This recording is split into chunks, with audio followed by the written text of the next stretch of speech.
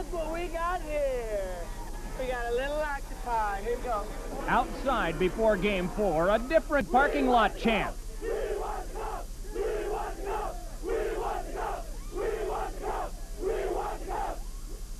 Inside, it took just 68 seconds for the red light to flicker. Neal Broten lit it. The only question was, would it count? The Red Wings protested. The replay machines whirred. And when it was all done, survey said, 1-0 New Jersey. Though this goal put Detroit behind, the Red Wings had gone to a style change for this fourth game, and it was working. Sergei Fedorov tied the game. And 11 minutes later, the Devils continued to be tense, even on a power play. Paul Coffey scored a shorthanded goal. 2-1 Detroit. Still time left in the first. A native of Detroit ready to salvo for Motown. Shawn Chambers. 2-2 after one. Typical of Devils playoff hockey, tying a dramatic game late in the first. The Red Wings had played well in the first period. They just weren't ahead. Chambers' goal had evened it up. Second period, it was Broten again. At the side of the net, he worked and worked and worked and got it. A lead for New Jersey. Netcam captured the frustration of Vernon's helpless battle with the Devils centerman. One period left. It became 4-2 in the third. One more goal would lock it up. It was Chambers. And somewhere in the arena, cold hands were icing champagne. White gloves were readying the Stanley Cup. Then came the end and the beginning.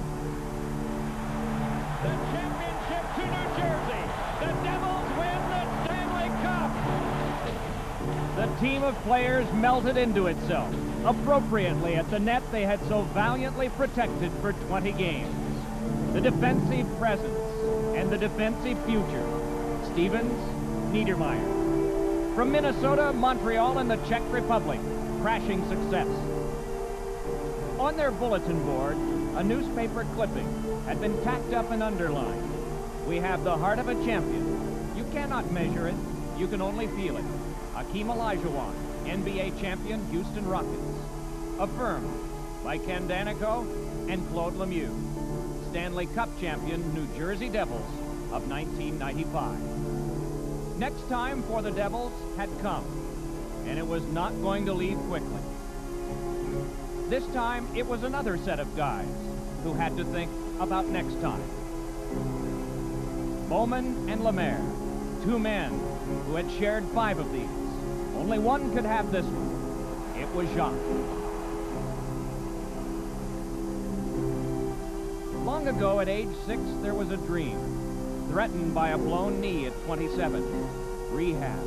And now the dream of youth realized at 30. Fred Shero had said, These men are children playing a children's game. These were grown men spending their heart for a cause, overcome with grown-up tears. MacLean and Slava Fetisov, teammates before April, opponents after. And from a group that was starless, but so bright collectively, one had to be voted the best. One was. The Conn Smythe Trophy is awarded to the most valuable player in the Stanley Cup playoffs. It goes to Claude Lemieux. How many times had he engaged the opponents in words and bumps and hurts, all for just an edge? The number of times didn't matter. The result of those times did. And this added prize took a controlled player beyond his emotional limits.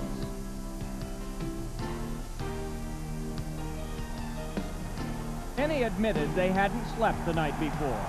But sleep was overrated. The cup was not. Gloved hands brought it out. Ungloved ones were about to claim it. The Devils' amazing playoff run has taken the term teamwork to a new level. Congratulations to the Devils, John McMullen, Lou Lamoriello, Jacques Lemaire, and the players. Scott Stevens, this is for you.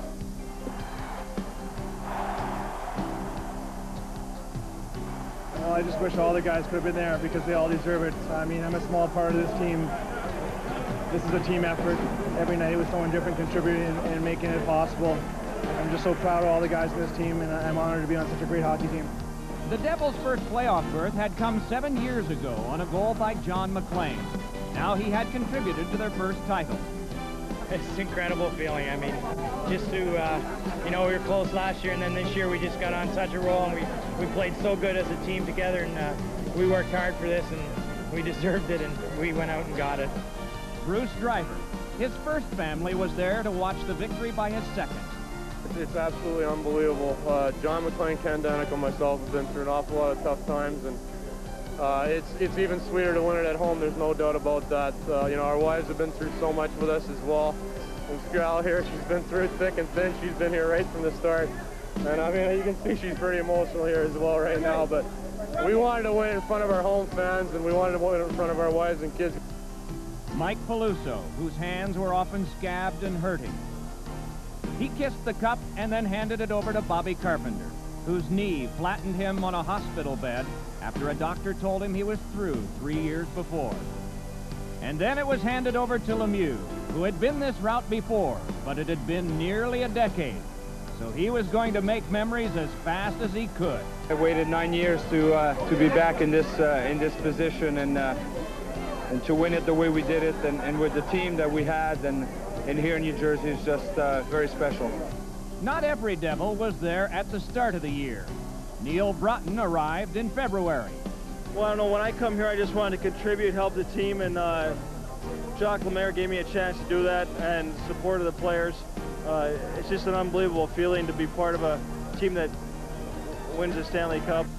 Martin Brodeur, a goalie's son carrying on the noble trade, a photographer's son with pictures and numbers that would be the future yardstick of excellence. An average of 1.67, a save percentage of 927, his first Stanley Cup. Bill Guerin, Wilbraham, Massachusetts, celebrating a championship with his parents, his girlfriend, and a lot of pride. Oh, so proud, so proud and so happy for him. He had really worked hard for this, and he's so young, and he's, he's just so great. We're so proud of all of them, actually, all of them. The only New Jersey native to play for New Jersey, Jim Dowd, and a large family band from the town of Brick. I just feel great for all the boys on the team and the New Jersey Devils. They finally brought the cup, and we'll get a little respect now. Respect also for another of the 12-year Devils, restaurateur, but better known as a defenseman, Ken Daneyko. I wouldn't have missed it for the world, and I'm just so proud of these guys. Uh, you know, there's so much character in this room. I mean, it's amazing just to win four straight, but uh, it was the 24 guys that contributed. And then there was the head of the 24 guys, Lemaire, his ninth Stanley Cup, and the first one that he's ever gotten as a coach. I have to give credit to the, the uh, all the players on this team for what they did, what they achieved. This was great. It was assistant coach Larry Robinson's seventh Stanley Cup, his first in a business suit. And then the big earn went to goalie coach Jacques Caron, the coaching link to Brodeur. Brodeur, the achiever, who inspired believers. Then back to center ice, for the players to be all in a glorious pile with their silver prize. No one covering up the other, because this title was team.